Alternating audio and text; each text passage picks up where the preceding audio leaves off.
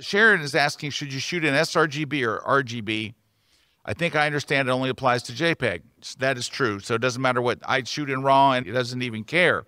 But it says when you process the RAW files, which color space should you use? If you're using Lightroom, and I imagine that you are, Sharon, you don't have a choice of color space. It is going to be in a ProPhoto RGB. That is the native color space of Lightroom. It's not going to change.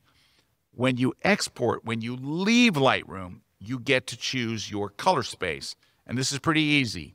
If you're going to share this in any way online, in a web browser, you're going to email it to somebody, you're putting it in your portfolio, Adobe Express, anything where you're sharing anything online in any way, you're going to save it as sRGB. If you're going to print it, you're making a print and that's all you're going to do with it, then Adobe RGB is fine.